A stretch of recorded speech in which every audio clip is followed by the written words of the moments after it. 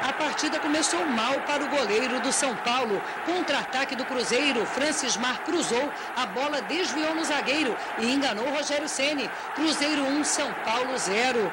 Novo contra-ataque, Wagner deixou Michel na cara do gol. Rogério conseguiu defender o primeiro chute, mas Michel pegou o rebote e tocou para a rede. Cruzeiro 2 a 0.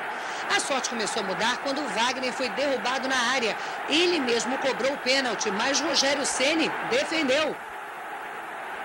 Em seguida, Rogério cobrou falta e se tornou o maior goleiro artilheiro da história do futebol. 63 gols. Cruzeiro 2, São Paulo 1. E a vantagem sobre o antigo recordista, o paraguaio Chilaver, aumentou no segundo tempo. Rogério cobrou o pênalti com categoria e empatou o jogo. Final, Cruzeiro 2, São Paulo 2.